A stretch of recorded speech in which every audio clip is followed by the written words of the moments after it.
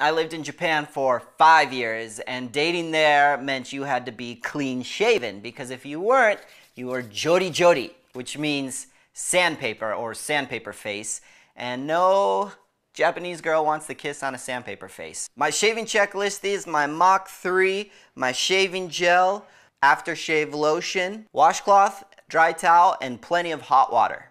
So for me, the first step is I like to take a washcloth, super hot water, and dab my face and kind of get all the extra dirt and excess skin off. And then from there, uh, it starts to loosen up your beard. The next step for me is I like to get shaving gel and really work in a good lather all throughout my face, especially in this area because that's the most sensitive for my skin. I've been using a Mach 3 for about five years now.